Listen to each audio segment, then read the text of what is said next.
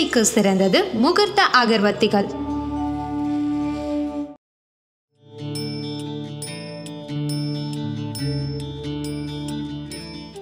ஓம் மகா கணபதியே நமக்கு.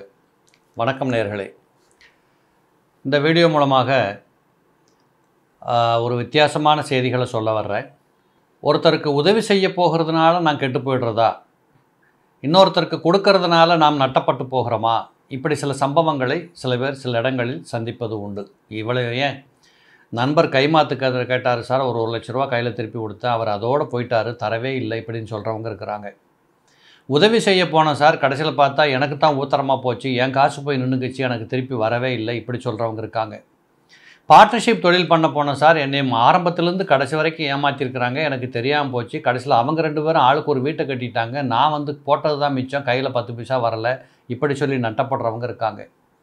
அப்போ இதுக்கெல்லாம் ஜாதகத்தில் ஒரு விதிகள் இருக்கின்றதா என்று கேட்டால் கட்டாயமாக உண்டு. அதன் அடிப்படையிலே அப்படிப்பட்ட விதிகள் உங்களுக்கு இருக்குமானால் தயவு செய்து நீங்கள் கையில் வச்சுருக்கக்கூடிய பொருளை மற்றவங்ககிட்ட கொடுத்து அதன் மூலமாக நமக்கு ஏதாவது வருமா? அப்படிங்கிற மாதிரிலாம் பார்க்கக்கூடாது.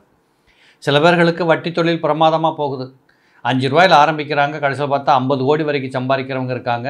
இப்படிப்பட்ட வட்டி தொழில் பிரமாதமாக சம்பாதிக்கிறவங்க இருக்காங்க. இதெல்லாம் என்னென்னு கேட்டிங்கன்னா பணத்தை கொடுத்து அந்த பணம் அங்கே போய் உட்காந்துக்கிட்டு உங்களுக்கு பணம் அனுப்பிக்கிட்டே இருக்கும். ஆக இப்படிப்பட்ட தொழில் செய்தெல்லாம் இந்த உலகத்தில் சம்பாதிக்கக்கூடிய ஒரு சாரர் இருக்கிற போது இன்னொரு பக்கத்தில் இருக்கக்கூடியவர்கள் கையிலேருந்து பொருளை கொடுத்தாச்சுன்னா அதோட சரி அந்த பொருள் போயிடும் திரும்ப வராது இப்படிங்கிற மாதிரிலாம் சில பேர்களுக்கு உண்டு.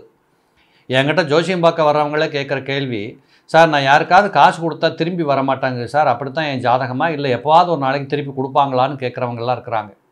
அப்போ இதனுடைய அடிப்படை என்னவென்று கேட்டால் ஒரு மனிதனுடைய வாழ்க்கையிலே தனம் என்று எடுத்துக்கொள்ளுகின்ற பணம் அப்படின்னு எடுத்துக்கிட்டால் ரெண்டாம் இடம் தனம்னு எடுத்துக்கிட்டால் ஒன்பதாம் இடமாக வச்சுக்கணும். பணம் வந்து அன்றாட செலவுக்கு நாம் கையில் வச்சுக்கக்கூடியதுக்கு பேர் பணம்.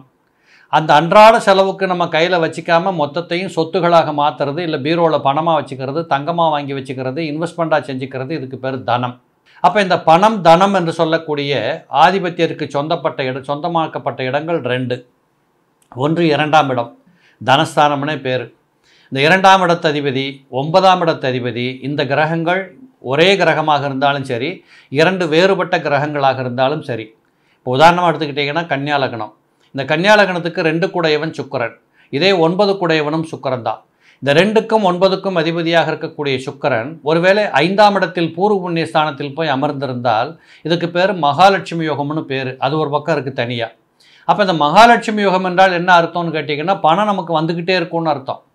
அப்போ இந்த வந்துக்கிட்டு இருக்கக்கூடிய பணத்தை நாம் இன்னும் இதை இன்னும் டபுள் ஆக்கணும் ட்ரிபிள் ஆக்கணும்னு ஆசைப்பட்டு யார்கிட்டயாவது கொண்டு கொடுத்தோம் அப்படின்னா அங்கே போய் நின்று போயிடும். அப்போ ஆண்டவனாக பார்த்து உங்களுக்கு நல்ல வாழ்க்கையை கொடுத்துருக்கான் கொடுத்துக்கிட்டே இருக்கிறான். ஆனால் நீங்கள் அதை என்ன பண்ணுறீங்க எங்கேயாவது கொண்டு யார்கிட்டையாவது கொடுத்து இன்னும் கொஞ்சம் டபுள் ட்ரிபிள் ஆக்கலான்னு முயற்சி பண்ணுகிற போது இந்த பணம் அங்கே போய் நின்று போகுது. என்ன விதி? இரண்டுக்கும் ஒன்பதுக்கும் அதிபதிகள் ஐந்தாம் இடத்தில் அமர்கின்ற போது நீங்கள் கை நீட்டி கொடுத்தால் அந்த பணத்தை வாங்கிட்டு போகிறவன் திருப்பி தரமாட்டான். இதே மாதிரி எந்த லக்னங்களாக இருந்தாலும் எடுத்துக்கொள்ளுங்களேன் இப்போ உதாரணத்துக்கு எடுத்துக்கிட்டிங்கன்னா ரெண்டு லக்னத்துக்கு ரெண்டு குடையவன் யார்? தனுசு லக்னத்துக்கு ரெண்டு குடையவர் சரி. ஒன்பது குடையவர் சூரியன். இந்த ஒன்பது குடையவன் சூரியனும் சனி பகவானும் ரெண்டு பேரும் இணைந்து மேசத்தில் இருந்தார்கள் என்றால் ஒருவர் நீச்சமாக இருப்பார் ஒரு உச்சமாக இருப்பார்.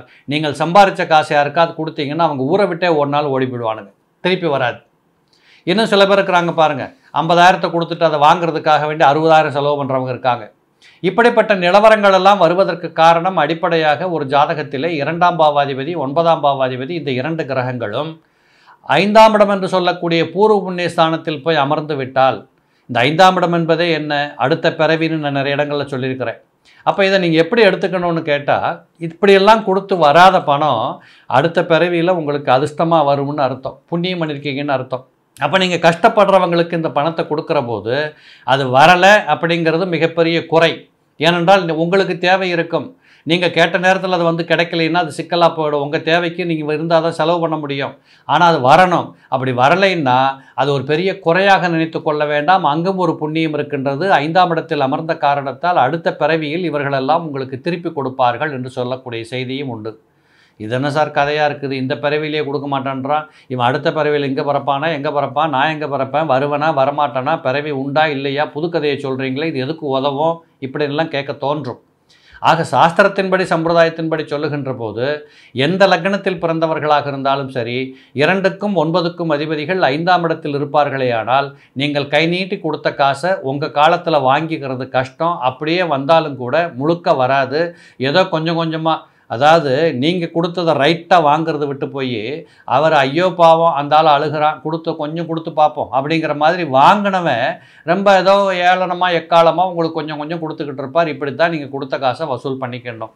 ஆக இந்த ஒரு அமைப்பு உங்கள் ஜாதகத்தில் இருக்கிற பட்சத்தில் எந்த லக்னத்தில் பிறந்தவர்களாக இருந்தாலும் சரி இரண்டுக்கும் ஒன்பதுக்கும் அதிபதிகளாக இருக்கக்கூடியவர்கள் ஐந்தாம் இடத்தில் இருந்து விட்டால் நீங்கள் தயவு செய்து உங்கள் கையில் இருக்கக்கூடிய காசை தானமாக கொடுத்துருங்க. நீ வே தரவே வேண்டாம்ப்பா இந்த வச்சுட்டு போன கொடுத்துருங்க அது நிம்மதி. கொடுத்துட்டு இது வட்டியோடு வரும் இல்லை திருப்பி வரும் அப்படிங்கிற மாதிரி எதிர்பார்த்தீங்கன்னா நிச்சயமாக அது தோல்வியில் முடியும் மன வருத்தத்தை கொடுக்கும். ஆகையினால் இந்த மன வருத்தத்திலிருந்து விடுபடுவதற்கு அடுத்த பிறவியிலையாவது அவன் கொடுப்பான்ல. சரி பரவாயில்ல போ. அப்படின்னு விட்டுட்டு போகிற மாதிரி தான் நம்ம விட்டு பிடிக்க வேண்டியது இருக்கும். இவைகளையெல்லாம் மனதில் பதிய வைத்துக்கொண்டு நீங்கள் வரவு செலவுகளை பண்ணுங்கள் கொடுக்கல் வாங்கல் நடத்திக்கோங்க. வட்டி கொடுக்குறதா இருந்தாலும் சரி கொடுத்து வாங்கினாலும் சரி ஹெல்ப் பண்ணாலும் சரி எதுவாக இருந்தாலும் பட்டா போட்டு எழுதி வாங்கினாலும் கூட சில நேரங்களில் நீங்கள் கொடுத்த காசு வராதுங்கிறதுக்கு இதெல்லாம் ஒரு அடையாளம். இதை நன்றாக புரிந்து கொண்டு செயல்பட்டு கொள்ளுங்கள். மீண்டும் ஒரு நல்ல செய்தியோடு மீண்டும் சந்திக்கின்றேன். நன்றி வணக்கம்.